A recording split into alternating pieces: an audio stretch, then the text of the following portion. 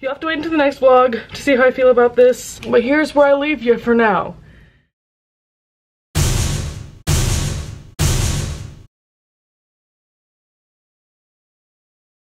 I can't find my vlog camera, which just goes to show how out of practice I am, but I just posted my first video back and I'm watching the comments roll in live. I'm like about to cry. Rosie's here with me and I'm like stunned by how many people still had notifications on and were like, I can't believe it. Ugh, thank you for coming back. I was kind of nervous. Finally just ripped the band-aid. Here we are.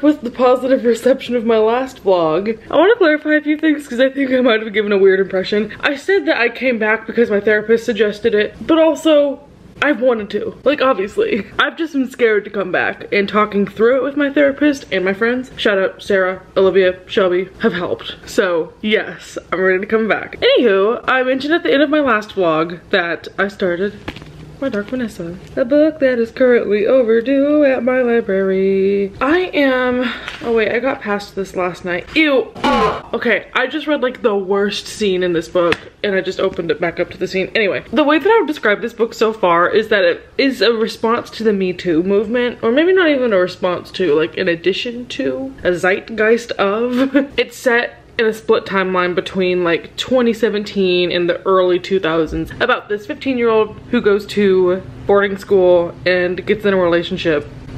That's not even how it should be described. Is molested by her teacher. It is difficult. Right now I'm, I'm a bit torn about it because obviously like we're getting most of it is the flashback scenes of her as a child feeling like oh i'm so powerful this man is interested in me and not understanding like yeah the man is a creep. Just like being groomed and gaslit by him and it's so sad. But whenever it switches to the perspective of her now in her 30s she like still talks to him. The whole crux of it is a different student has now come out and said like, hey, he assaulted me. And so it's like the downfall of this professor now that the women who were previously afraid to speak up are saying things. And so this main character is having to decide, oh, my entire life I thought this was something consensual and it made me feel good, but then there were parts I was conflicted about because he was also pretty forceful. So, I mean, obviously major trigger warning for this. I've not read Lolita. It's on my list. I don't know if I should have read it before this or the other way around. I'm enjoying this. Is that crazy to say? I mean, this book is hard to enjoy, but I'm liking the purpose of it and the way that this character is having to realize what she went through through now the lens of like women banding together to have the truth come out.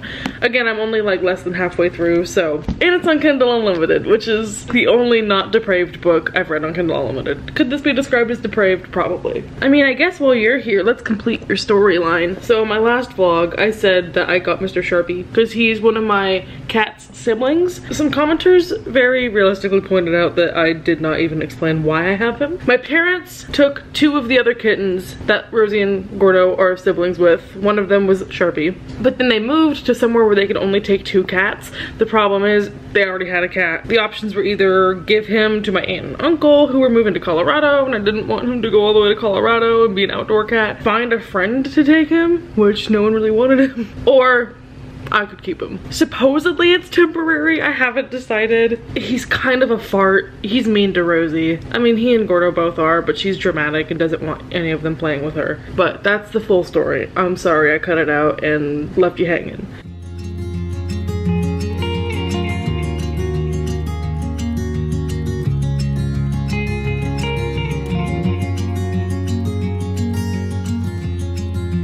The old insecurities are creeping back in because I was like, oh, I don't want to put on a tank top to go to bed because I know I'm gonna need to film this clip and I know I don't look good in tank tops on camera, but like, I'm not gonna not wear my bisexual Bucky shirt. So hi, um, this is random and I probably should be in bed because I have to work from home tomorrow, but not one but two people asked for a Christmas haul, which is enough for me to say yes. 2012 beauty guru culture has never left my heart, so allow me this one indulgence. I'll go quick. Shelby and I exchanged presents. If you don't know who Shelby is, she was in my last vlog, new bestie. I have no idea what this is. I wrapped these two days ago. It's oh! you left in my car. she got me a couple things. One of them was a bunch of stuff from Lush, which I already have in my bathroom because I'm currently using it and I love Lush stuff. More to come on that. She also got me a travel makeup brush kit, which is amazing. The only person who got me a book for Christmas. So she gave me Part of Your World by Abby Jimenez, which she has already read and loved. I loved The Friend Zone by Abby Jimenez and she hated it. We kind of swapped interests here, but she insists that this one's good even though it's fade to black. All I know about it is that it's this woman, I almost said a woman who's a doctor. This book's about a woman who's a doctor. I guess it's not sexist. She is a woman and a doctor. Those are just two facts. It's like she's never had to do anything for herself in her life, so she doesn't know how to like cook or clean or anything like that. And then she has to move to a small town. That's all I know. Thank you, Shelby. Um, and then she also got me sticky tabs. Okay, for my family on Christmas, I got like three main big gifts. I got a toaster from my grandparents, which is so cute. I got a new trash can. And then I also got a Dutch oven so I can make soups and stuff. So excited to have those. Here's the other little, I don't want to say little, here's the other things that I got. One of them that I would consider a big gift is this perfume trio from Marc Jacobs. Love this perfume. I needed a pepper grinder, so I got this copper one, which is so cute. I got a new brush. It's yellow, my favorite color. I'm not ready to unwrap the Taylor Swift conversation that's gonna need to happen about concert tickets and stuff, but my mom got me a concert survival pack for Taylor Swift. I've stuffed it with all the other presents I got, so it wasn't this full, which was so cute. It just had like earplugs, an emergency, and like a necklace that says all too well on it, so I'm ready to go see Taylor. Yes, I got tickets. I'll talk about it later. This shower body oil from L'Occitane that I have been dying to try. My cats have the zoomies. Fake nails that look really cute, I don't really wear fake nails, so we'll see how this goes. Okay, can we zoom me without attack sister? Thank you. My mom also got me a travel sized blush brush. And then my sister went balls to the walls at a Lush store and got me everything on my wish list. So I got a Twilight bath bomb, Twilight body scent. Even my smell these three body washes, which I'm obsessed with. This one, oh my god. And then a face mask. I'm pretty sure this is supposed to go in the fridge, but I don't have it there. That's my Christmas haul. Hope you enjoyed the haul, because I know I enjoy them. It's getting late. I know I need to go to bed, but it cannot be an evening without... I feel guilty that I haven't returned this book to the library. It was due three days ago so today's the end of my grace period i think i'm just gonna return it and then finish it on kindle unlimited because honestly i am marking this up so heavily. I've never taken notes in a book before on Kindle, but I keep highlighting things and being like, ew, jail time. It's very cathartic for me to respond to the things that this man is doing to her and be like, you ever heard of an electric chair?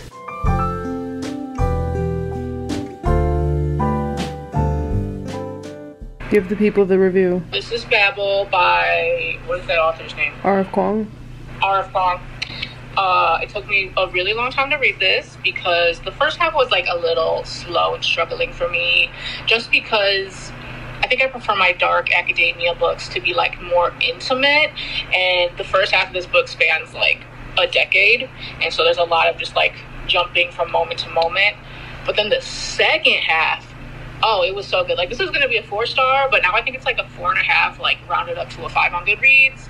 It gave me Les Mis. Um, I'm in my Les Mis mode because I just saw the musical for the first time, and it was incredible. If you like language and uh, anti-colonialism or like you know fuck that vibe, give it a read. Anyway, that was your word from Bonnie, our sponsor. I'm like half asleep. It is because I stayed up until 3 a.m. reading. I got to about 50% through my Dark Vanessa. I got to a point last night where I was like, I don't know how much more of this I can do. I'm curious how many people have DNF'd that book because it's difficult. And part of me feels like the book might be healing and like reaches out a hand to people who have been through the same thing. I don't know how someone who has been preyed on as a child would even be able to get through this like I have never experienced anything like that and I'm finding it hard to read, which is kind of the purpose. Like of course, no one's reading this like having a field day with it, but oh my gosh. The scary thing is I can see myself in the main character as a teenager just like craving validation. It makes me feel so lucky that there wasn't someone in my life like this teacher because I could see parts of my younger self in her and that's terrifying.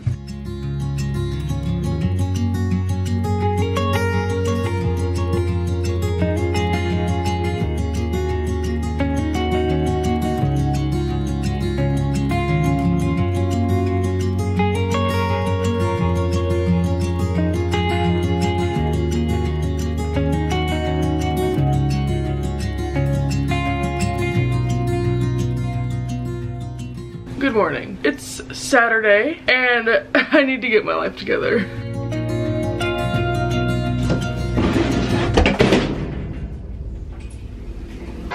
The woman was too stunned to speak. I need you to understand.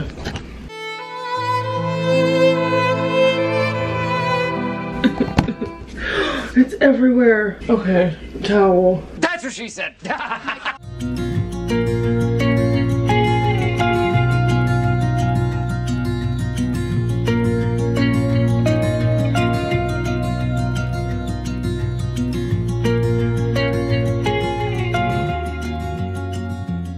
I need you to let me brag on this shirt a little bit before I go and take out my trash. I found it while thrifting with Chanel and she let me have it. I know it is January, but it was like $5 and I'm still recovering emotionally. What a steal. It is like 75 degrees outside. I just sweat my ass off going to take out the trash. But I would be remiss if I didn't mention my other lucky thrift find recently. A flower pot that looks like a little coffee. I immediately knew I had to have this. I'm a bad plant mom. This has been in this pot for like two years and there is mold Nasty! growing on the top of it. I'm gonna go take this out back and shoot it. Just kidding. I have potting soil on my balcony, so I'm a plant mother. Hi. Oh. And he is obsessed with the balcony, so maybe we'll have some balcony time. Yeah, let's go outside.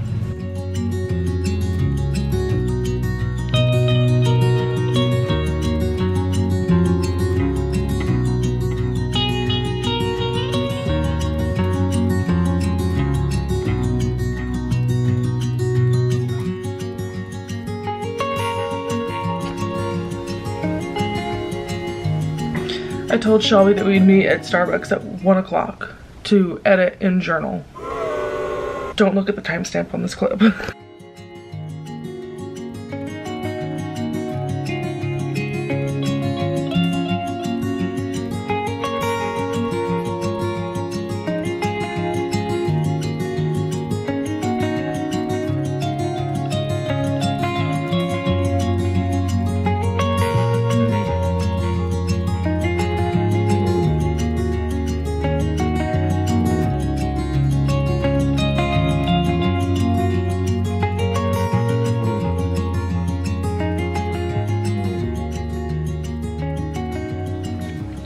Okay, hi. I owe you a part of this vlog where I actually talk about reading. Earlier today, I woke up at like 10. I made pancakes and I was gonna like lay down in bed and finish my Dark Vanessa. And then I fell asleep. I slept until like 12.45 and only got a few more chapters into my book. But I'm at like 70%, which I think is significantly hello further in from when I last updated when I was like halfway in. I feel like there's a big shift halfway through. I won't spoil it, but I think in particular the thing that was added to the story that I'm really enjoying is scenes with this character's therapist because for the first time she's opening up about what has happened since, you know, the news is bringing up a lot of old memories. You know, this book has been infuriating the whole time because you as a reader know that it's wrong what's happening and even when this character is in like the current times, like the 2017 chapters, she still insists like like, well, it was consensual. Like, I wanted it. I'm not a victim. But as she's having these conversations with her therapist, you're able to like side with the therapist. And so it's like you finally have someone to root for. Things are changing. Her perception of what happened is evolving which I was just waiting and waiting and waiting for. It's a beautiful book. I've seen a lot of people rating it five stars as I update about it on Goodreads. Right now it's not sitting there for me, like I'm enjoying it and I think part of the reason it's hard for me to dole out five stars nowadays is because I feel like I read books over such a long time period that it like, the book feels choppy but it's not the book's fault, it's me for taking so long to read it. I'm not gonna be reading for long, but I'm gonna knock out a couple more chapters and hopefully they won't make me anxious because this book can be really uncomfortable. Hi vlog. Shelby came over, we went to the library. I am 85% of the way through my book. I think I can finish it all tonight. I have a Dark Academia playlist pulled up, which feels like a mockery of this book to call it Dark Academia, which I guess it kind of is, but like that's not the purpose. I don't think it should be classified as that, but still. What are you doing? I'm just watching YouTube videos. Clearly I'm being a very great host.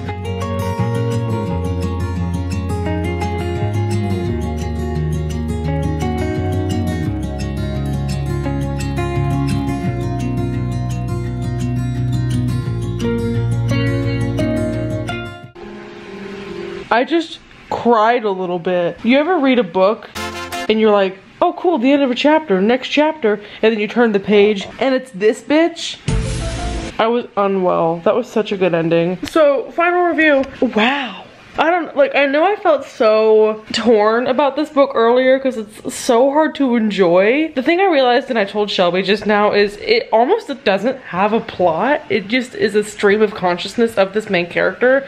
And the journey you go on isn't necessarily from plot point to plot point. It's watching her evolve in her way of thinking. Oh my god, the ending was so good. I expected there to be a little more, but I'm not upset at how it ended. Actually, it was a really good ending and I cried I know you already know that, but oh my gosh, I'm still like recovering from how sweet that last chapter was. I don't know what I would rate it. Probably, I've seen a lot of people do five stars and I understand. I'm not quite at a full five stars, but it might be like a 4.5 rounded up to five. I really liked it. I got a thumbs up from Shelby and I asked if you wanted to read it and you said yes, which I like really want to tell you about how it ended, but I won't. Oh, this is the All Too Well necklace my mom got me for Christmas. Thanks, mom. I'm so excited to introduce the next read to the vlog. Let me go get the next thing I'm gonna start. Wait, do you know what it is? I have no clue. Um, this is the next thing I'm reading. I have no idea what those are. Neither do I. I lent my coworker Okay, don't come for me. I'm putting my hair back up. I don't know who I thought I was putting it down for this clip. I lent my coworker the entire ACOTAR series because she was like, I read The Cruel Prince and I read like all these iconic YA books. And I was like, okay, have you read the iconic YA book? YA book. And she said no. So I lent it to her. She loved them. And then, surprisingly, we've now started a book club, I guess, because she handed me these books that she thought I would like based on that. If you have heard of these, maybe I'm just behind. The books that True Blood was based on, what I can gather from these is it's about vampires. She said that there is some sex in these. I can't really detect a vibe from them. She said they're like enjoyable, but not like the best thing I'll ever read. Yeah, this is not even 300 pages. I really am going into this blindly. If I look at the synopsis, it's like, this main character is a cocktail waitress in Louisiana. Gordo really needs attention right now. That was in the synopsis, can you believe that? oh, but she can read minds. And then, no, you're telling me the love interest name in this book is Bill. Bill Nye the Science Guy. Bill, Bill. I hope that this book's synopsis has been revised. I don't know when this book was published, but it says Sookie is a girl who works at a bar, but she has a disability. She can read minds. And then it says Bill has a disability of his own. He's a vampire. You're gonna give that back to your coworker and be like, Like, it was amazing. So I'm gonna give this one a shot just because I feel like in all fairness I should. And like, I've been kind of excited about it. I mean, not because of the synopsis, clearly. I've never had like a curated recommendation and it hasn't been something I've already or haven't read before. So we're gonna give it a shot. Okay, this is gonna be a trip. We're gonna see if I DNF this. As my hot chocolate prepares. I would also like to mention I forgot I got a book at the library earlier today. Shelby and I were just browsing and then I saw Celebrity memoirs don't really stick with me that much. I've heard that this one's really good, like Shelby was saying I would really enjoy it, but I probably won't read this for a few weeks, if that. It's on my list, it's high up there. Also, real quick, I need to show you the monster I've made Gordo into.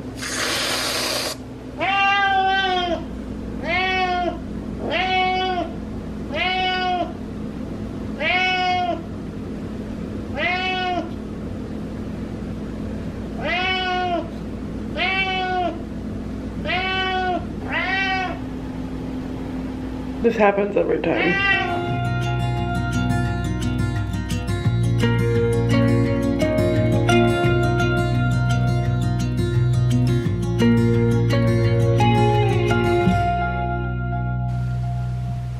The end.